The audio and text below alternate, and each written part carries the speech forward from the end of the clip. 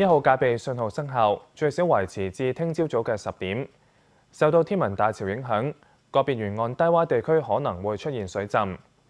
民政處夜晚將會啟動設喺大埔鄉事委員會辦事處嘅緊急事故協調中心，協助居民。萬宜逐步靠近，下晝天色陰暗，中環風勢唔算太大。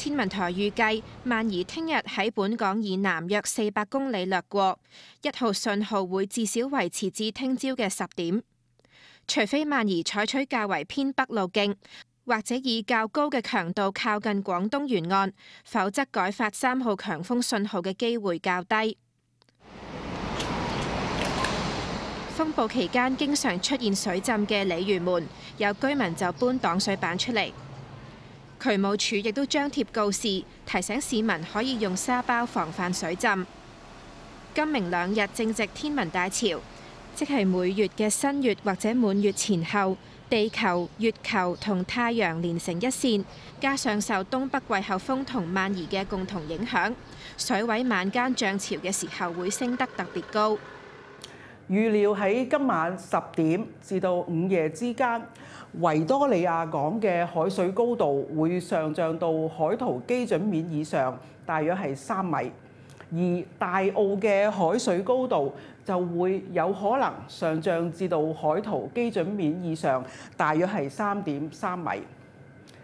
個別沿岸低洼地區可能出現輕微嘅水浸。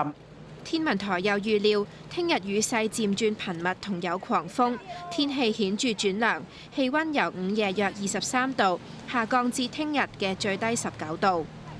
無線電視記者魯卓敏報導。政府出年收回大欖隧道專營權，消息指將會減隧道費，商用車或一減到四十三蚊，而私家車會分時段收費，私家車繁忙時段收四十五蚊。希望舒緩到屯門公路嘅擠塞。不過私家車司機同貨運業界都認為吸引力唔大。大欖隧道貫穿元朗至到荃灣，私家車法定收費要一百蚊，隧道公司提供優惠，實際收五十八蚊。隧道喺一九九八年通車，專營權去到出年五月底結束。政府收返專營權之後會調整收費。消息話政府參考三條過海隧道分時段收費，計劃喺私家車實施。將會分為三個時段，繁忙時段收四十五蚊，一般時段三十蚊，非繁忙時段收十八蚊。至於商用車輛，包括係的士同埋巴士等等，就全日劃一收費。希望喺保持隧道暢通嘅前提下，舒緩屯門公路同埋吐露港公路嘅擠塞。咁十蚊四十八都我覺得係未夠嘅，唔足夠。係嘅，係嘅，嘅三十八差唔多，咁樣啦，可能會考慮。唔會有大好大誘因咯，都係睇路程咯。元朗咪就行大欖咯，都係會行翻。屯門就行翻屯門公路咯，都係跟翻咯，唔會因為佢平咗十蚊。當局早前曾經建議商用車劃一收四十五蚊，消息話最新建議係四十三蚊。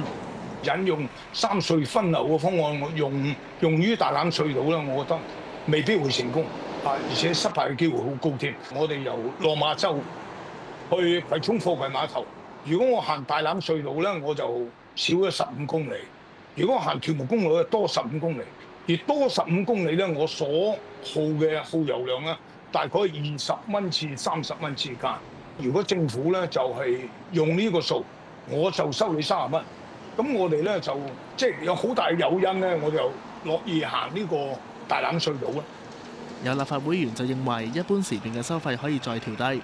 分時段收費就可以有保證翻大欖隧道喺繁忙時間可以有個暢通性，但喺非繁忙時間呢，又可以誒讓利於民，令到咧市民都可以誒有翻一個啊喺個價錢方面有個啊實惠。我哋都應該要睇一睇到時嘅情況。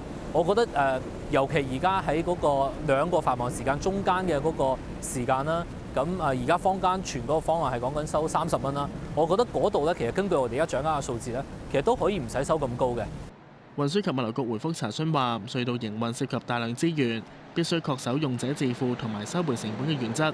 局方會繼續聆聽意見，今年內向立法會提交建議。無線電視記者吳家軒報道。三間專營巴士公司申請加價，運輸及物流局向立法會提交文件，其中九巴申請加幅係百分之六點五，城巴申請加價百分之九點五。新大嶼山巴士就申請加百分之六點五。當局話一直鼓勵同協助專營巴士營辦商推展進行開源節流工作，但面對持續上升嘅工資成本、大幅波動嘅油價，以及同其他交通工具持續競爭，專營巴士營辦商嘅財務狀況未如理想。交通事務委員會星期五會討論加價申請。最新失業率微升零點一個百分點至百分之三點一。八月至十月失業人口大約係十二萬人，較七至九月多咗大約八百人。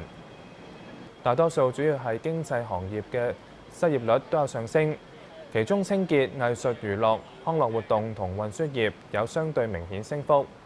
就業不足率係百分之一點一，較七至九月微跌零點一個百分點。主要係建喺建造業、貨倉同運輸輔助活動業。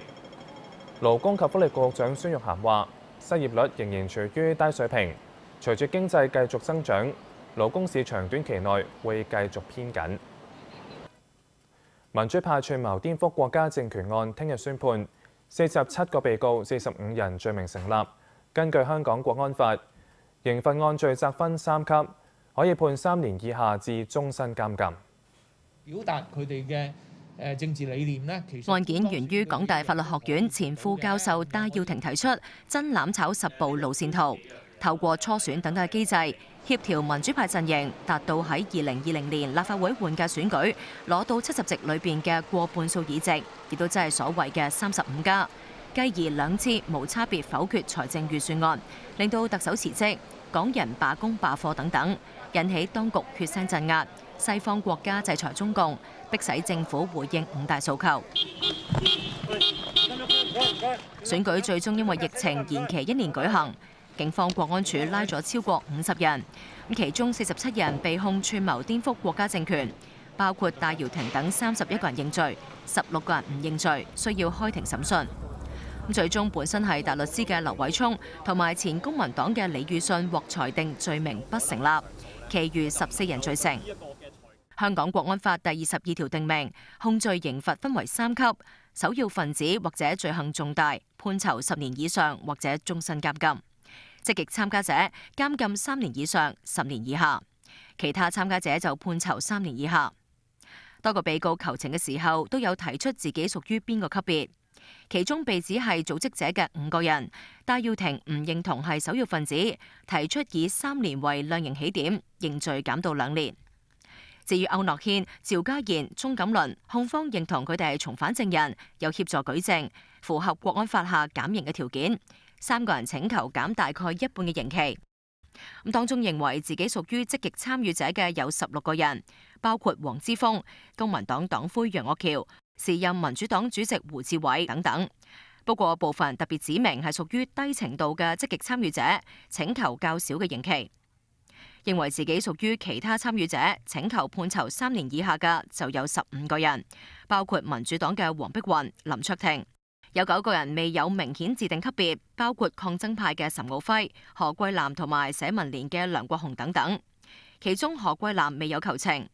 梁國雄嘅書面陳詞就話：對成為階下囚無怨。無線電視記者陳嘉欣報道。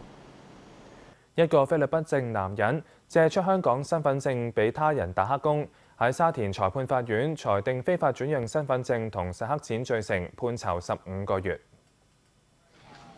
行動檢獲銀行卡、身份證副本等。入境處早前喺一間餐廳拉咗四個從事清潔工嘅逾期逗留外傭。揭發外佣喺應徵嘅時候用人哋嘅身份證冒充他人建工同工作，經調查發現有更多同類嘅個案，涉及款項達到二百五十萬。